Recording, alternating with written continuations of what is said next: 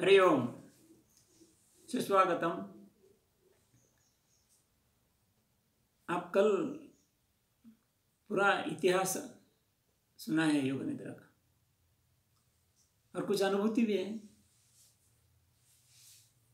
खास करके विश्राम तो मिला होगा क्योंकि लेटे रहना है शवासन करना है और आधा घंटा करना है।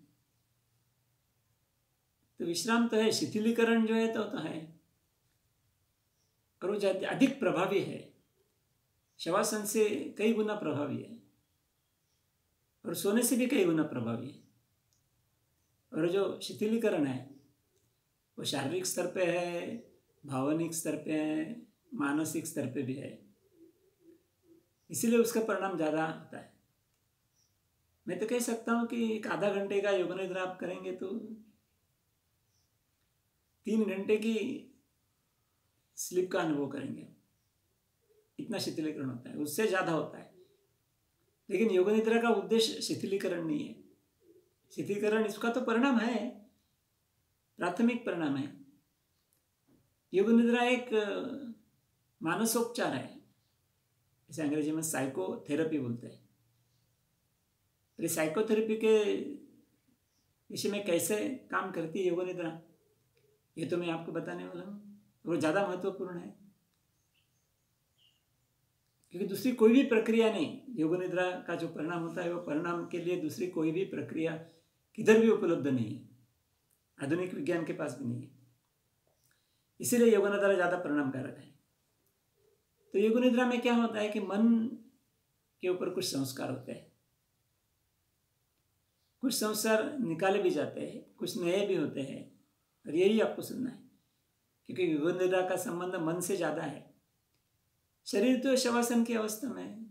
शरीर को कुछ करता ही नहीं, आपने भी अनुभव किया है कि शरीर से कुछ करना नहीं, मन से करना है, कुछ ना कुछ।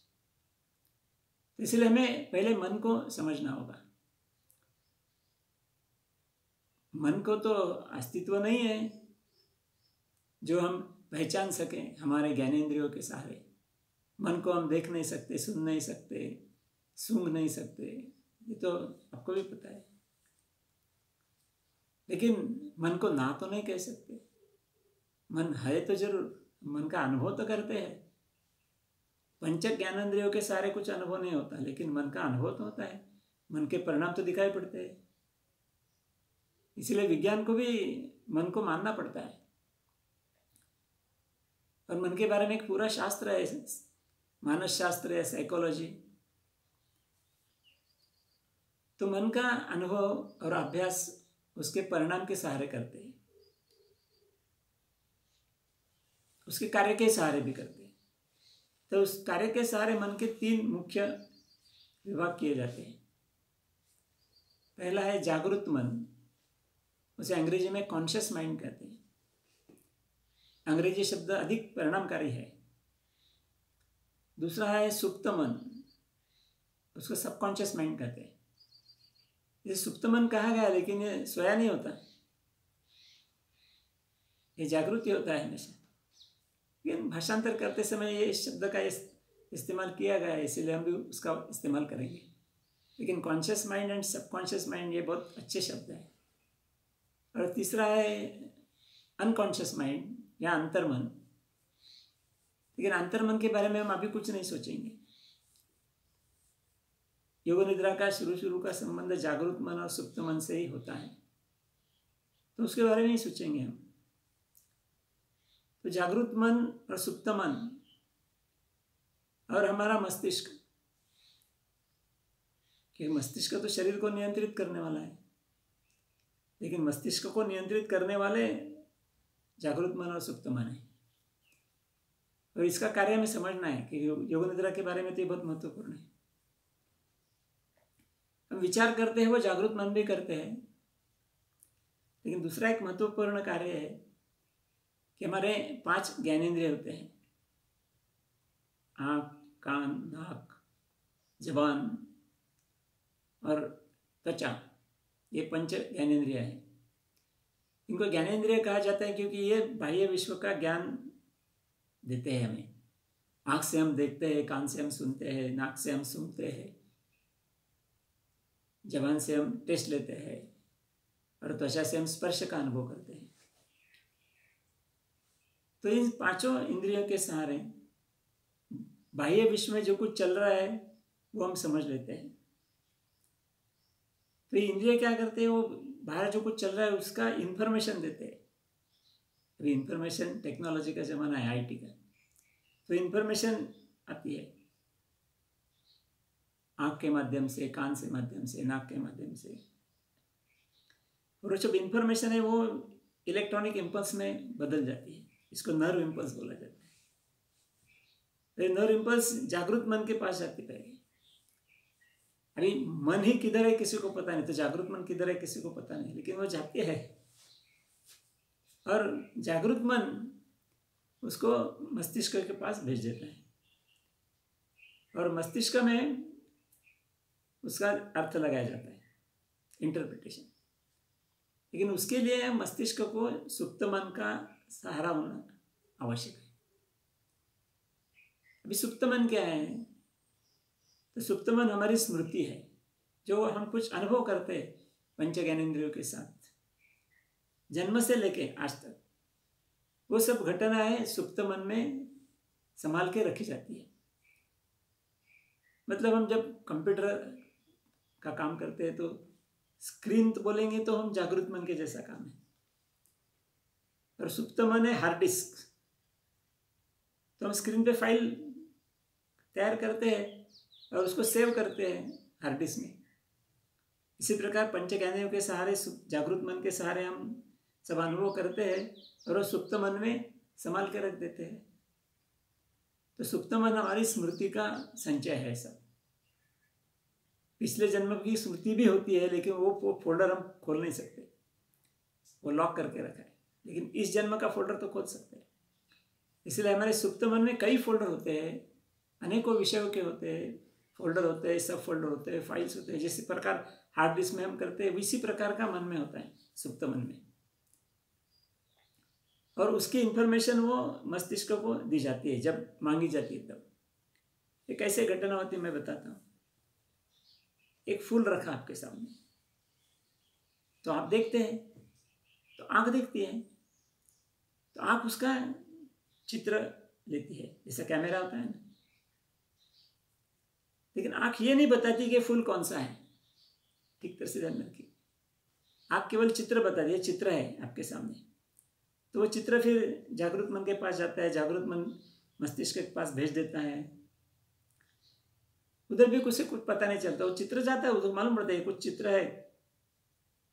तो फिर मस्तिष्क क्या करता है? सुप्त मन से संपर्क करता है। इस चित्र के बारे में आपके पास कोई स्मृति है क्या? यदि वो फूल आपने कभी भी देखा नहीं होगा, कभी भी सुना नहीं होगा तो आपके पास कुछ स्मृति नहीं होगी। तो सुप्त मन कहता है, मेरे पास कुछ नहीं है इसका। तो मस्तिष्क समझता है कि इसके बारे में अपने को कुछ ज्ञान है नहीं। तो फिर आप बोलते हैं, ये क्या है?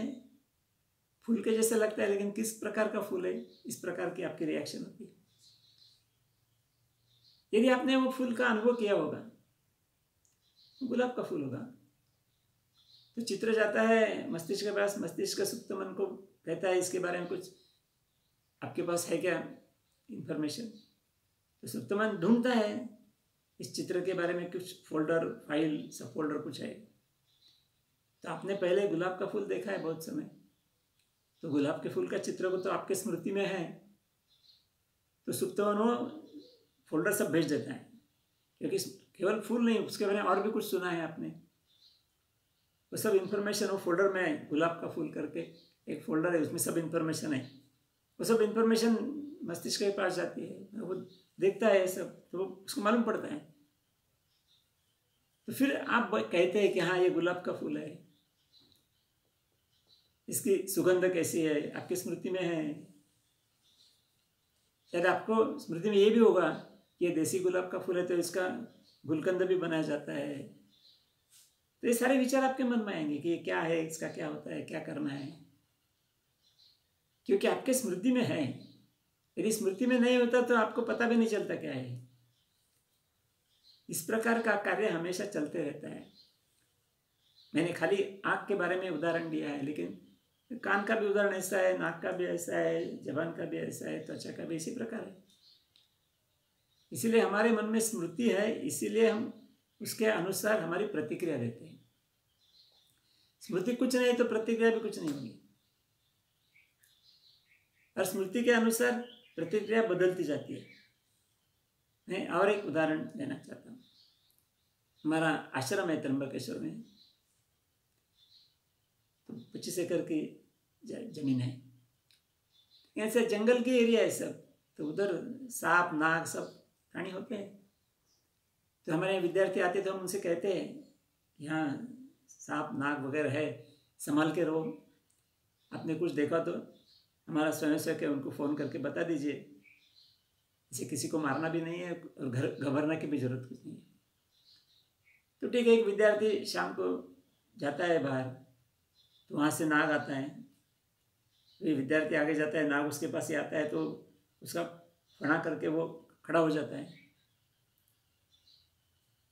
तो विद्यार्थी देखता है तो क्या देखता है? उसके आँख से देखता है तो उसका चित्र निकाला जाता है। वो चित्र मैंने कहा जैसा, जागरूक मन जागरूक मन से मस्तिष्क मस्तिष्क मन सुप्त मन। तो उस विद्यार्थी ने नाक के बारे में पहले कुछ सुना है, कुछ चित्र भी देखे कभी कभी प्रत्यक्ष नाक भी देखा है तो ये सब उसके स्मृति में है। उसको बताया गया है कि ये विषैला होता है, ये काटता है और इस विष से मृत्यु भी हो सकती है। तो ये सारी इन्फॉर्मेशन उसके स्मृति में है, उस फोल्डर का नाम है नाग। उसका चित्र भी है। तो जब नाग का चित्र उसने देखा तो वो सब मस्तिष्क से वो सुप्त मन के पास चित्र पहुँच गया। तो मस्तिष्क को मिला, वो फोल्डर मिल गया नाक का। उसको पूरा फोल्डर भेज दिया। तो मस्तिष्क देखता है, सब पूरा फोल्डर है, इसमें सब लिखा है तो विद्यार्थी के मन में सब विचार आते हैं। ये विषेला है, काटता है, ये विषय मृत्यु भी हो सकती है, इसीलिए वो घबरा जाता है। मतलब उसकी प्रतिक्रिया क्या? है घबराने की। समझना, समझाने के लिए मुझे बहुत समय लगता है, लेकिन instant fraction of a second में होता है शरीर में। नर्वस सिस्टम बहुत फास्ट काम करती है। अभी उसके साथ एक छोटा बच्चा है, तीन चार साल का बच्चा है तो वो भी नाक देखता है। वही चित्र देखता है। वही चित्र उसके जागरूक मन, मस्तिष्क फिर सुप्त मन में जाता है। तो उसके सुप्त मन में नाक के बारे में कुछ स्मृति नहीं है। उसने कभी सुना नहीं, देखा नहीं, कुछ नहीं। तो उसका सुप्त मन कहता है, मस्तिष्क से मेरे पास कुछ फोल्डर नहीं है। तो उसके लिए उसके मन में कुछ विचार ही नहीं आते। बोलते, क्या है? समझ में नहीं आता है। जो कोई विद्यार्थी है, वो बड़ा है, पैंतीस चालीस साल वाला। वो घबरा जाता है। अरे तीन चार साल बेटा घबरता नहीं है। क्यों नहीं घबरता उसके मन में कुछ नहीं है। सुप्त मन में कुछ नहीं तो उसके मन में कुछ भी विचार आते नहीं इसके बारे में। देखता है कुछ प्राणी चल रहा है बस। तो उसकी प्रतिक्रिया क्या है? कुछ नहीं है। विद्यार्थी की प्रतिक्रिया क्या? घबरा जाता है।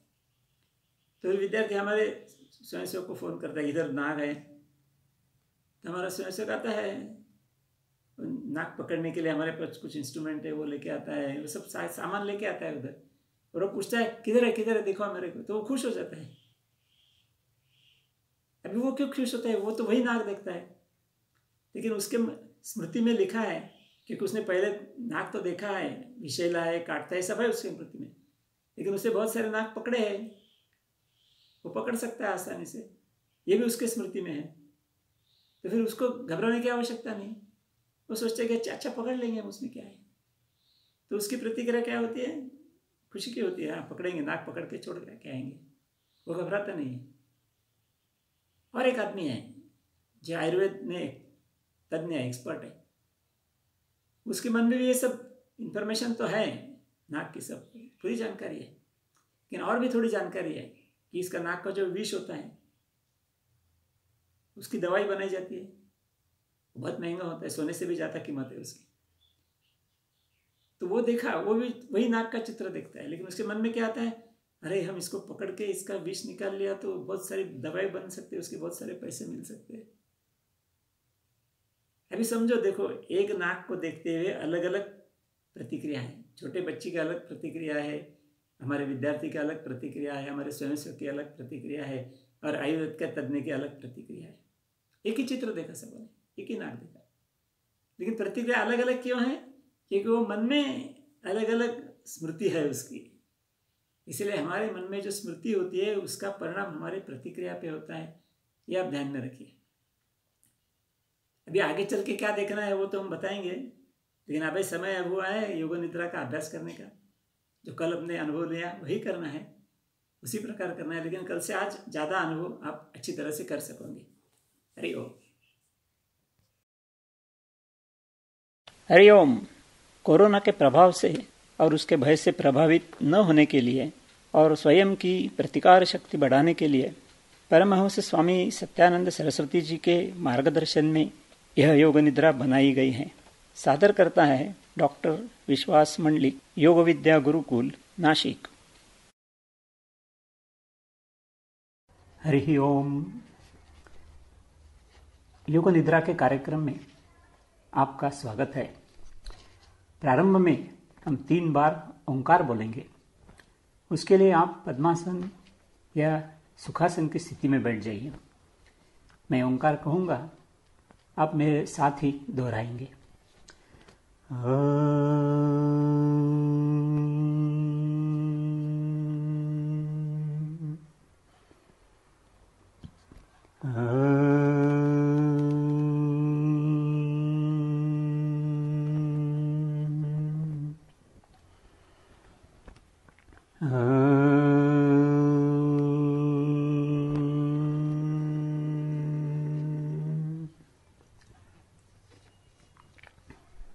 अब हम योग निद्रा का अभ्यास प्रारंभ करेंगे।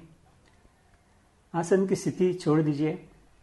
हाथ की कलाई में पहनी हुई घड़ी आँखों पर लगाया हुआ चश्मा निकालकर एक और रख दे। यदि कमर पे पट्टा पहना हो तो उसे भी निकाल कर रख दे। जहाँ तक संभव हो, शरीर पर कपड़ों का तनाव कम करे। अब पीठ के बल सीधे लेटते हुए शवासन का अभ्यास आरंभ करें। सिर से लेकर पैर तक संपूर्ण शरीर सीधा रखें। दोनों पैरों के बीच लगभग एक फीट का अंतर रखें। एड़ियों भीतर की तरफ़ और पंजे बाहर की ओर रखें। पैर ढीले छोड़ दें। हाथ सीधे ही रखें, परंतु हाथों को शरीर से तीन से चार इंच की दूरी पर रखें। हथेलियों को छत की दिशा में ऊपर की ओर रखें। हाथों की उंगलियाँ अध खुली रहने दें। शरीर को अन्य किसी भी वस्तु का स्पर्श न होने दें। मुँह बंद करें। गर्दन को जिस दिशा में चाहे झुकाकर रख सकते हैं। नासिका द्वारा श्वसन जारी रखें। धीरे धीरे आँखें बंद कर ले। जब तक कि आँखें खोलने के बारे में निर्देश प्राप्त न हो, तब तक आँखें बंद ही रखें। योग निद्रा का संपूर्ण अभ्यास आँखें बंद रखते ही करना है। इस स्थिति में यदि शरीर में कहीं कोई तनाव या अस्वस्थता हो तो इसी समय उसे निकालते हुए शरीर को शिथिल करें। कपड़ों का भार या तनाव महसूस होता है तो उसे भी दूर कर दे। एक दीर्घ सांस ले तथा धीरे धीरे सांस छोड़े। सांस छोड़ते समय यह कल्पना करें कि शरीर की सारी व्याधियाँ चिंताएँ और तनाव शरीर से बाहर जा रहे हैं। पुनः एक बार दीर्घ सांस लें। सांस लेते समय यह कल्पना करें कि इस विश्व की चेतना शक्ति हमारे शरीर में सांस के साथ प्रवेश कर रही है। धीरे धीरे पूर्ण सांस छोड़े। ततः पुनः कल्पना करें कि सांस छोड़ते समय हमारे शरीर की व्याधियाँ, चिंताएँ और तनाव दूर दूर जा रहे हैं। सांस छोड़ते समय शरीर अधिकाधिक ढीला पड़ता जा रहा है। ऐसी कल्पना करें कि प्रत्येक श्वसन के साथ शरीर और भी अधिक ढीला पड़ता जा रहा है। शरीर की शिथिल अवस्था में निद्राधीन होने की प्रवृत्ति होती है। नींद आने के पूर्व जो अवस्था होती है, वैसी ही अत्यंत शिथिल अवस्था पैदा हो जाती है। तथा नींद लगने की संभावना रहती है। इसीलिए आपको जागते रहने का निश्चय करना आवश्यक है। मन ही मन में कहें, इस अभ्यास के समाप्त होने तक मैं पूर्णतया जागते रहूँगा, सोऊँगा नहीं। इस अभ्यास के समाप्त होने तक हम पूर्णतया जागते रहेंगे, सोएँगे नहीं। प्रारंभ में बाहर से आने वाली आवाज़ की ओर प्रयत्नपूर्वक ध्यान दें। दूर से कहीं ध्वनि आ रही है तो उसे सुनने का प्रयास करें। यह ध्वनि कहाँ से आ रही है? तथा इसका क्या अर्थ है? इस विषय में कदापि न सोचे। केवल तटस्थ भावना से इन दूर से आ रही ध्वनि को सुनने का प्रयास करें। अब धीरे धीरे अपना ध्यान इसी कमरे से आने वाली ध्वनि की ओर केंद्रित करें। अन्य ध्वनियों की ओर से अपना ध्यान हटा दें। इस कक्ष में आपको दिया जा रहा निर्देश सुनने का प्रयास करें। अपना संपूर्ण ध्यान इन्हें निर्देशों की ओर केंद्रित करें। आपको यहाँ पर दिए जा रहे निर्देशों का पालन करना है। आप जितनी एकाग्रता से इन निर्देशों का सुनेंगे, उतनी ही एकाग्रता से उसका पालन भी कर सकते हैं। इसीलिए केवल इन निर्देशों की ओर ही ध्यान केंद्रित करें। योग निद्रा में आप श्रवण तथा सावधानी इन दोनों के द्वारा ही कार्य करते रहेंगे। इसीलिए आपको प्राप्त होने वाले निर्देशों को सावधानी पूर्वक श्रवण करना तथा एकाग्र मन से उसका पालन करना योग निद्रा का अत्यंत महत्वपूर्ण अंग है। आपको प्राप्त हो रहे निर्देशों का विश्लेषण अथा उनमें परिवर्तन न करें। यदि ऐसा करेंगे तो आपको अंतर्मुख होने में अधिक समय लगेगा। इसलिए निर्देशों का श्रद्धापूर्वक अनुसरण करें। अन्य प्रकार के विचार यदि मन में आए तो उनकी ओर भी ध्यान न दें। अभ्यास जारी रखें। शरीर को अचल और स्थिर रखने का प्रयास करें। शरीर शिथिल हो रहा है, विश्राम कर रहा है ऐसी कल्पना करें। मन ही मन में कहें ओ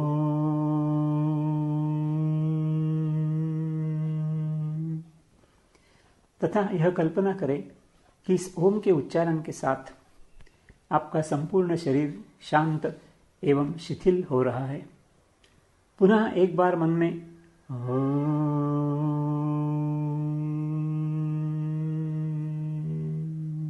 कहे आपका शरीर और भी अधिक शिथिल होते जा रहा है। पैर से लेकर सिर तक संपूर्ण शरीर ढीला पड़ता जा रहा है। शिथिल हो रहा है। तनाव कम हो रहा है। और भी कम हो रहा है। अब बहुत कम हो गया है। आप योग निद्रा का अभ्यास कर रहे हैं। मन मन कहे, मैं योग निद्रा का अभ्यास कर रहा हूँ। इस अभ्यास के दौरान मैं नींद नहीं आने दूँगा। इस अभ्यास के समाप्त होने तक मैं जागता रहूँगा। मैं सोऊँगा नहीं, मैं पूर्णतया जागते रहूँगा।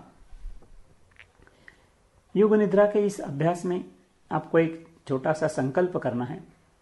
योग निद्रा करते समय श्रद्धापूर्वक अंतकरण से किया गया यह संकल्प आपके भावी जीवन में आपके लिए अवश्य ही लाभदायक सिद्ध होगा। इस पर पूर्ण विश्वास करें। अब आपके द्वारा तय किया गया संकल्प, उसका अर्थ ध्यान में रखते हुए एकाग्र चित्त से मन ही मन तीन बार दोहराएँ। संकल्प का यही वाक्य, किसी पटल पर लिखे वाक्य के समान आपकी आँखों के समक्ष दिखाई दे रहा है। इसे तीन बार मनीमान दोहराना है। हर जगह कोरोना फैल रहा है। इससे भी अधिक उसके प्रकोप का डर बढ़ रहा है। इसे निपटने में मेरी मदद करने के लिए मुझे योग अभ्यास करना उपयोगी लगता है। इसलिए मैं कोरोना और उसके डर दोनों से अलग हो गया हूँ। बेशक कोई भी मेरे शरीर और दिमाग को संक्रमित नहीं कर सकता है। हर जगह कोरोना फैल रहा है। इससे भी अधिक उसके प्रकोप का डर बढ़ रहा है। इसे निपटने में मेरी मदद करने के लिए मुझे योग अभ्यास करना उपयोगी लगता है। इसलिए मैं कोरोना और उसके डर दोनों से अलग हो गया हूँ। बेशक कोई भी मेरे शरीर और दिमाग को संक्रमित नहीं कर सकता है। हर जगह कोरोना फैल रहा है। इससे भी अधिक उसके प्रकोप का डर बढ़ रहा है। इसे निपटने में मेरी मदद करने के लिए मुझे योग अभ्यास करना उपयोगी लगता है। इसलिए मैं कोरोना और उसके डर दोनों से अलग हो गया हूँ। बेशक कोई भी मेरे शरीर और दिमाग को संक्रमित नहीं कर सकता है। योग निद्रा में जागृत होने वाले आपके मानसिक सामर्थ्य के बल पर यह संकल्प अवश्य ही सिद्ध होने वाला है। यह संकल्प अवश्य ही सिद्ध होने वाला है। अब हम अवयव ध्यान का प्रारंभ करेंगे। स्वयं के प्रत्येक अवयव का दर्शन आप अपने मन के द्वारा करेंगे तथा प्रत्येक अवयव को शिथिल करेंगे। मैं एक एक करके अवयवों के नाम का उच्चारण करूँगा तथा आपको स्वयं के मन से उस अवयव तक पहुँचना है। उस अवयव को अनुभव करना है, तथा उस अवयव और उसकी मांसपेशियों व तांत्रिकाओं को शिथिल करने का प्रयास करना है।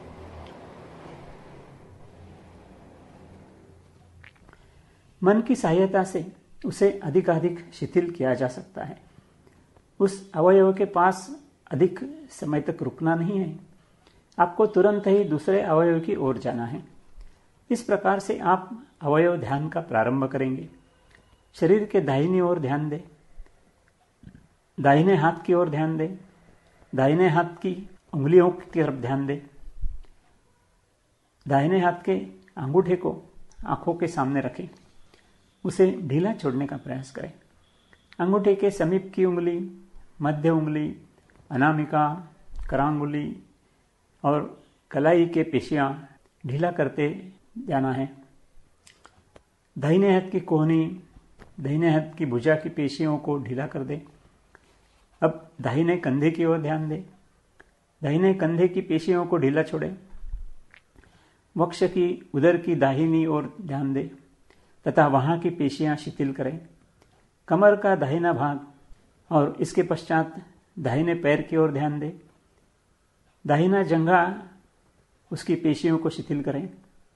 दाहिने पैर के घुटने, टखने का भाग पिंडलियाँ, एड़ियाँ, तलवे, पैर का अंगूठा, अंगूठे के बगल की उंगली, मध्य अंगुली चौथी अंगुली अंतिम अंगुली सभी मांसपेशियों को ढीला छोड़ने का प्रयास करें। इस प्रकार दाहिने हाथ से लेकर दाहिने पैर तक का संपूर्ण दाहिना भाग का शिथिलीकरण हो चुका है। अब शरीर के बाएँ भाग की ओर ध्यान दें। बाएँ हाथ की ओर ध्यान दें।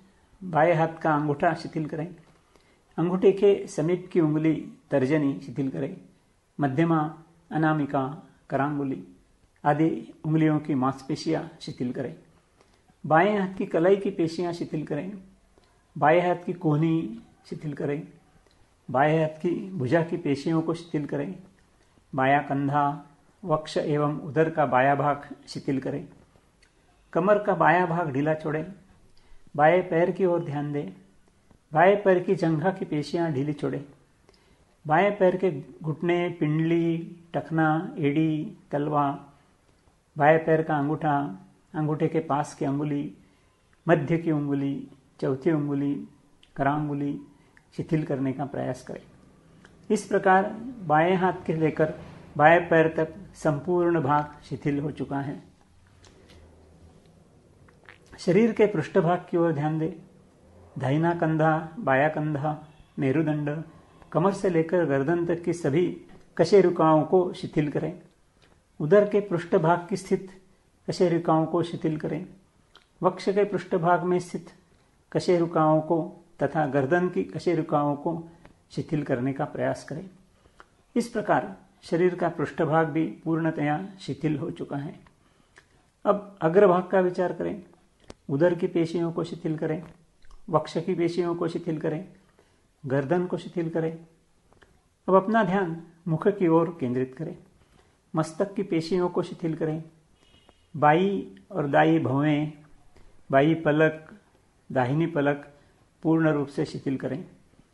आँखें बंद रखते हुए पलकों तथा पुतलियों को तनाव से मुक्त करें। बाई आँख की पुतली को शिथिल करें। दाहिनी आँख की पुतली को शिथिल करें, बाएँ कान की पेशियों को शिथिल करें, दाहिने कान की पेशियों को शिथिल करें, बाया गाल, दहिना गाल, ठोड़ी, होठ, दांत शिथिल करें। दांतों को एक दूसरे पर कसकर न रखें, उन्हें अलग अलग ही रखें, अर्थात आपको जबड़े की पेशियों को शिथिल करना होगा। मुख के भीतर स्थित जिह्वा को भी शिथिल करें। जिह्वा पर भी तनाव होता है। जिह्वा को शिथिल करने पर जिह्वा के भार का भी आपको अनुभव होगा। संपूर्ण शरीर को आपने शिथिल कर लिया है। सभी मांसपेशियों को आपने ढीला छोड़कर शिथिल किया है। परंतु फिर भी हो सकता है कुछ पेशियों में पुनः तनाव उत्पन्न हो गया हो। इसलिए एक बार पुनः शरीर की ओर ध्यान देकर उन पेशियों को शिथिल करने का प्रयास करना है। दाहिना हाथ शरीर का दाहिना भाग, दाहिना पैर, बाया हाथ, शरीर का बाया भाग, बाया पैर, शरीर का पृष्ठभाग, संपूर्ण शरीर का अग्रभाग, गर्दन, चेहरे की सभी पेशियाँ, मस्तक से लेकर जिह्वा तक की सभी पेशियों को शिथिल करें। अब तक आपका शरीर पूर्णतया शिथिल हो चुका है। परंतु नींद नहीं लगी है। श्वसन अधिकाधिक मंद होता जा रहा है। शरीर की संपूर्ण पेशियाँ शिथिल हो जा रही है। संपूर्ण पेशियाँ शिथिल हो चुकी हैं। तथा श्वसन भी अधिकाधिक मंद हो रहा है। शरीर जितना अधिक शिथिल होगा, श्वसन उतना ही मंद होते जाएगा। इस श्वसन की ओर ध्यान केंद्रित करने का प्रयास करें। परंतु इस श्वसन पर किसी भी प्रकार का नियंत्रण न रखें। साक्षी भाव से तटस्थता पूर्वक इस श्वसन की ओर देखने का प्रयास करें। श्वसन करते समय उधर की लयबद्ध गति होती है, उस ओर ध्यान दें। सांस की गति मंद मंद सी हो रही है, पेट भीतर की ओर जाते समय सांस बाहर निकलती है, तथा पेट बाहर की ओर जाते समय सांस भीतर जा रही है। पेट की इस गति को ध्यान से देखने का प्रयास करें। उधर की इस गति की गिनती करना है। श्वसन की ओर ध्यान देते हुए श्वसन ध्यान का आवर्तन आपको पूर्ण करना है। श्वसन की ओर ध्यान देते समय आप पेट की गति की गिनती करेंगे। लेकिन गिनती उल्टे क्रम से प्रारंभ करेंगे। सत्तावीस से लेकर एक तक गिनती करते जाना है। पेट बाहर की ओर और, सांस अंदर की ओर जाती है तो सत्तावीस। पेट भीतर की ओर जाते समय सांस बाहर आती है, पुनः पेट बाहर की ओर आती है तो छब्बीस। पेट भीतर तो सांस बाहर। इसी क्रम से हमें सत्तावीस से लेकर एक तक स्वयं के श्वसन को पेट की गति के माध्यम से गिनना है। गिनती करने के लिए पर्याप्त समय हो, इसलिए दो ढाई मिनट तक कोई भी सूचनाएँ नहीं दी जाएगी। उसके बाद ही पुनः सूचनाएँ दी जा सकती है।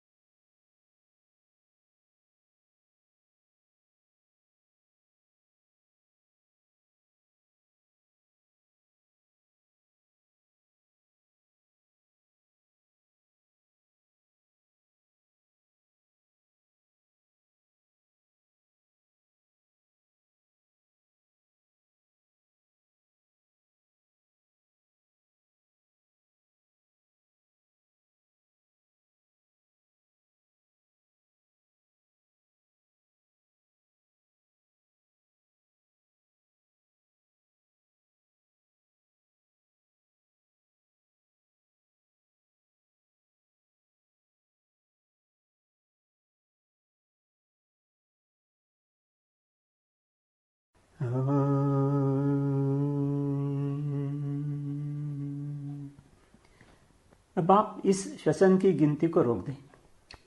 स्वयं की शरीर की ओर ध्यान दें। शरीर अधिकाधिक शिथिल होता जा रहा है। शरीर के अत्यंत शिथिल हो जाने के कारण आपको शरीर की जड़ता का अनुभव हो रहा है। शरीर अधिकाधिक भारी हो रहा है। शरीर का भारीपन आप महसूस कर रहे हैं। आपका शरीर इतना भारी हुआ है कि मानो आपका शरीर ज़मीन के भीतर जा रहा है। अब धीरे धीरे जड़ता कम हो रही है। धीरे धीरे शरीर हल्का होने लगा है। आपका शरीर हल्का हो रहा है। मानो जैसे वह हवा में तैर रहा हो। आपका शरीर अत्यंत हल्का हो रहा है। आपको ऐसा प्रतीत हो रहा है कि मानो आप हवा में तैर रहे हैं। अब आपका ध्यान शरीर की ओर से हटाकर मेरी सूचनाओं की ओर केंद्रित करें। मैं कुछ दृश्यों के विषय में वर्णन करूँगा।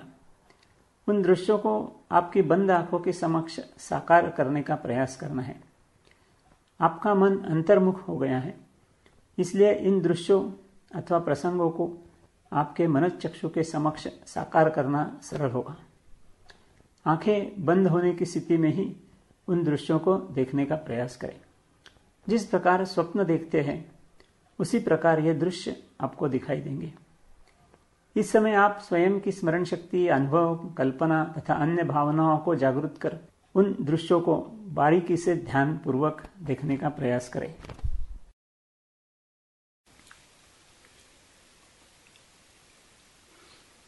कुछ महीने पहले आपका जीवन अच्छा चल रहा था। थोड़े उतार चढ़ाव थे लेकिन ज़्यादा मुश्किल नहीं हो रही थी। आपकी व्यावसायिक प्रगति हो रही थी, आपका घर परिवार अच्छा चल रहा था। फरवरी महीने के शुरुआत में एक खबर मिली कि चीन में कोरोना नामक एक वायरस आया है और स्थिति गंभीर हो रही थी। आपने ज़्यादा ध्यान नहीं दिया। धीरे धीरे वायरस दुनिया भर में फैल गया। वायरस ने उग्र रूप धारण कर लिया और कई देशों में उधम मचाना भी शुरू कर दिया। आपको भी इसकी गंभीरता का एहसास होने लगा। उस पर कोई दवा का उत्पादन नहीं किया गया था। इसलिए संपर्क से बचना यही एकमात्र रास्ता था। इसके लिए देश स्तर पर प्रयास शुरू किए गए। सब कुछ बंद हो गया और सभी लोग घर में बंद हो गए। घर से बाहर भागने वाले सभी लोग घर में रहने लगे। इसका समाधान क्या है? क्योंकि संपर्क से बचना, इसे फैलने से बचाने का एक अच्छा रास्ता है। लेकिन इसका विरोध कैसे किया जाए? जब तक प्रभावी दवा नहीं निकल आती है, तब तक इसका कोई इलाज नहीं है। सही दवा का अभी तक पता नहीं चला है। उसके लिए प्रयोग चल रहे हैं। इसीलिए अभी आपकी ज़िम्मेदारी क्या है? ये समझ लो, कोरोना की तरह हमारे आसपास कई वायरस हमेशा होते हैं। कभी कभी वे हमारे शरीर में भी प्रवेश करते हैं। लेकिन आप इससे पीड़ित नहीं होते हैं, क्योंकि आपके शरीर में जो एक बल है जो उन दुश्मनों से लड़ने के लिए तैयार है, वो उन शत्रुओं का नाश करता है। इसे रोग प्रतिरोधक या इम्यून सिस्टम कहा जाता है। यह शक्ति जितनी प्रभावी होती है, आपकी सुरक्षा उतनी ही बेहतर होती है। यह इम्यून सिस्टम आपके शरीर में भी उपस्थित है। इस सेना को बचाए रखना और इसकी क्षमता को बढ़ाना आपके ही हाथों में है। और आपके लिए एक सकारात्मक पक्ष यह है कि आप योग अभ्यास कर रहे हैं, जो आपकी रोग प्रतिरोधक शक्ति को बढ़ाने के लिए उपयुक्त है। आपके योग अभ्यास ने आपकी इस शक्ति को बेहद प्रभावी बना दिया है। यही कारण है कि आप कोरोना से डरते नहीं हैं। आपकी तैयारियों को देख ध्यान में रखते हुए यह कोरोना ही आपके शरीर में आने की हिम्मत नहीं कर सकता। क्योंकि यदि वो शरीर में प्रवेश करे तो आप उसको तुरंत नष्ट करने के लिए तैयार है। इसीलिए आप कोरोना से नहीं डर रहे हैं। शायद कोरोना ही आपसे डरता है। इसके लिए आप नियमित रूप से योगाभ्यास कर रहे हैं। यह निश्चित है कि कुछ दिनों में आपका दैनंदिन जीवन ठीक होने वाला है। आप इस बारे में निश्चिंत है। इसलिए चिंता ना करें, चिंतन करें। यह निश्चित है कि कुछ दिनों में आपका दैनिक जीवन ठीक होने वाला है। आप इस बारे में निश्चिंत है, इसलिए चिंता ना करें, निश्चिंत रहे। इसी विचार से आप यह योग निद्रा का भी अभ्यास कर रहे हैं।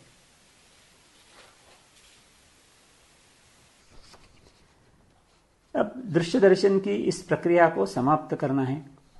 आपका शरीर अत्यंत शिथिल हो गया है। मन भी पूर्णतया शांत तथा अंतर्मुख भी हो गया है। मन की इस अवस्था में आप प्रारंभ में किए गए संकल्प को पुनः दोहराना है। संकल्प जैसा प्रारंभ किया था, उन्हीं शब्दों में वैसा का वैसा ही दोहराना है। संकल्प का वाक्य अब पुनः आँखों के सामने स्पष्ट दिखाई देने लगा है। आँखें बंद किए हुए ही। मन ही मन श्रद्धापूर्ण अंतकरण से तीन बार संकल्प का उच्चारण करें। हर जगह कोरोना फैल रहा है। इससे भी अधिक उसके प्रकोप का डर बढ़ रहा है। इसे निपटने में मेरी मदद करने के लिए मुझे योग अभ्यास करना उपयोगी लगता है। इसलिए मैं कोरोना और उसके डर दोनों से अलग हो गया हूँ। बेशक कोई भी मेरे शरीर और दिमाग को संक्रमित नहीं कर सकता है। हर जगह कोरोना फैल रहा है। इससे भी अधिक उसके प्रकोप का डर बढ़ रहा है। इसे निपटने में मेरी मदद करने के लिए मुझे योग अभ्यास करना उपयोगी लगता है। इसलिए मैं कोरोना और उसके डर दोनों से अलग हो गया हूँ। बेशक कोई भी मेरे शरीर और दिमाग को संक्रमित नहीं कर सकता है। हर जगह कोरोना फैल रहा है। इससे भी अधिक उसके प्रकोप का डर बढ़ रहा है। इसे निपटने में मेरी मदद करने के लिए मुझे योग अभ्यास करना उपयोगी लगता है। इसलिए मैं कोरोना और उसके डर दोनों से अलग हो गया हूँ।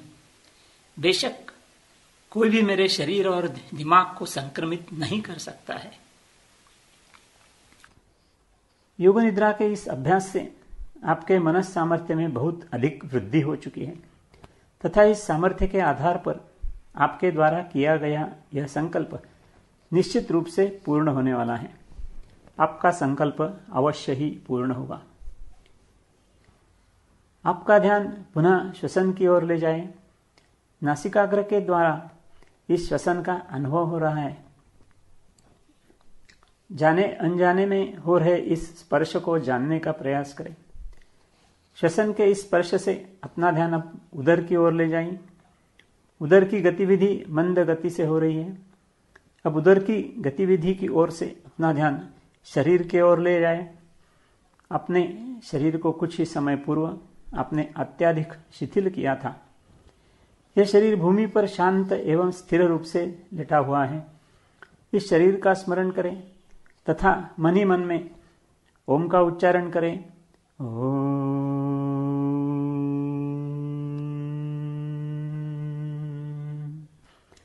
इस उच्चारण के साथ सिर से लेकर पैरों तक के संपूर्ण शरीर का मन में ध्यान करें। जिस भूमि पर आप लेटे हैं, उसका स्मरण करें। कुछ समय पूर्व आपने इसी स्थान पर योग निद्रा का अभ्यास आरंभ किया था। आसपास के वातावरण का अनुभव करने का प्रयास करें। संपूर्ण शरीर को क्रमानुसार धीरे धीरे पूर्व स्थिति में लाना है। कुछ समय पहले ही हमने शरीर को शिथिल किया था।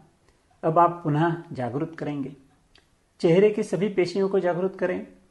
शरीर का अग्रभाग जागरूक करें। शरीर का पृष्ठभाग बाएँ पैर से लेकर बायां हाथ अर्थात बाया भाग जागृत करें, तथा पश्चात शरीर के दाहिने भाग की ओर ध्यान दें। दाहिने पैर से लेकर दाहिना हाथ, अर्थात संपूर्ण दाहिना भाग जागृत करें। इस प्रकार आपका संपूर्ण शरीर अब जागृत हो चुका है। सभी अवयवों में जागृति उत्पन्न हुई है। इस अवस्था से अब धीरे धीरे हिलते हुए योग निद्रा का अभ्यास समाप्त करना है। हाथों की उंगलियों को हिलाएँ हाथों को थोड़ा सा तान कर सीधा करें। पैरों की उंगलियों को भी हिलाकर पैरों को तान लें। अभी धीरे से गर्दन सीधी करें। हाथ शरीर के नज़दीक लाए। दोनों पैर पास पास कर लें। आँखें अभी बंद हैं।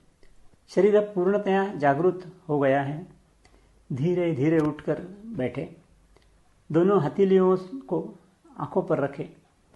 आँखों को ढककर रखते हुए आँखें खोलें धीरे धीरे हाथ नीचे करें। इस योग निद्रा के नित्य अभ्यास से आपका जीवन मंगलमय हो। इस प्रार्थना के साथ योग निद्रा का अभ्यास समाप्त हो रहा है। हरिओम तत्सत।